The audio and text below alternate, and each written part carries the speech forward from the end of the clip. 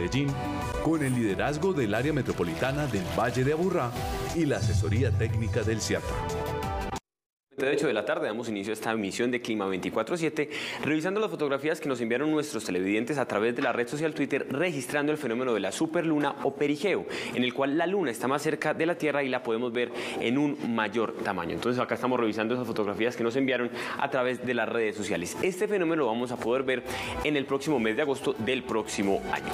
Pongamos los pies en la Tierra y vámonos al plano local para revisar entonces en qué lugares se presentaron precipitaciones en la mañana. Tuvimos algunas comenzando el día y algunas a las 11 de la mañana en los lugares que les voy a reseñar. Caldas, Itagüí y Envigado. Vamos al resto del territorio. Vamos a ver que tuvimos precipitaciones en San Javier, América, la América Belén y Santa Elena y también algunas hacia el norte. Como les cuento entonces, son precipitaciones muy leves que no superaron ni siquiera el milímetro acumulado y que tuvieron muy corta duración.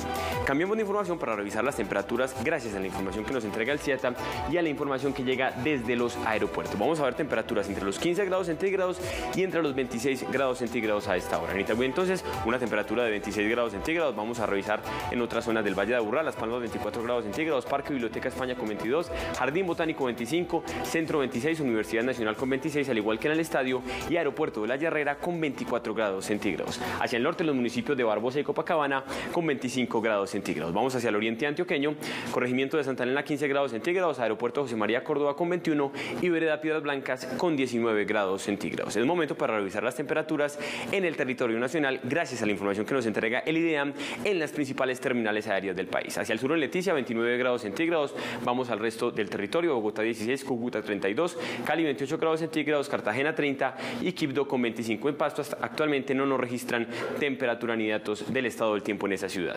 Vamos a revisar la actividad atmosférica gracias a la visión infrarroja del satélite COES. Tenemos predominio de sistemas de baja altura sobre gran parte del país, pero veamos que en la mañana teníamos sistemas de gran altura y de mediana altura sobre el departamento de Antioquia, sobre algunos departamentos de la zona norte y sobre el departamento del Choco, pero que se han ido desplazando hacia los océanos que cubren a nuestro país. Vamos a acercarnos al departamento de Antioquia para ver que es la misma situación. Tenemos predominio de sistemas que están entre los 2.000 y los 5.000 metros de altura con mayor desarrollo hacia los municipios que están en la subregión del Urabá antioqueño.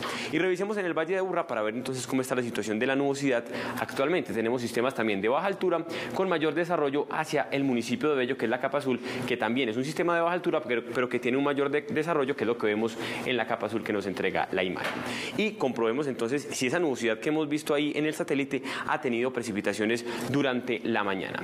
En esta imagen vemos que hay predominio de tiempo seco, pero se presentaron ahora algunas precipitaciones sobre Barbosa que no vemos actualmente porque fueron realmente de corta duración y de baja intensidad.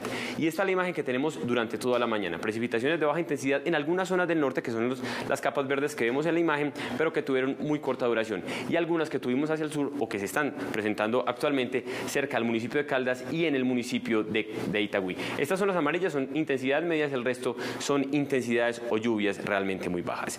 Teniendo en cuenta estos datos, el CIATA nos entrega un pronóstico para esta tarde de cielo parcialmente nublado con una probabilidad media alta de lluvias. Recuerden que este pronóstico aplica para todos los municipios del Valle de Aburrá. Pasemos a revisar la información que nos entrega el IDEAM, los pronósticos para los próximos dos días en la ciudad de Medellín.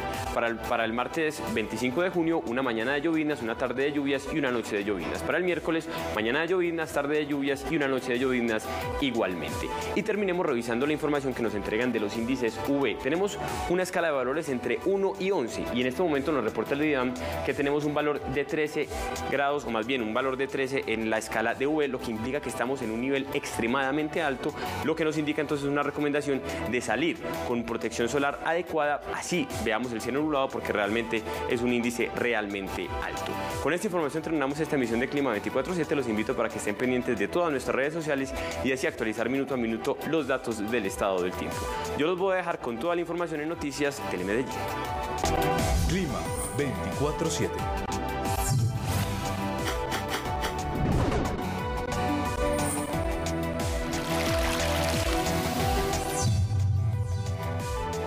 Aquí te ves, aquí te ves y descubriendo la noticia. A continuación, Noticias Telemedellín. Los saludo desde el Centro Integrado de Intervención de la Comuna 13.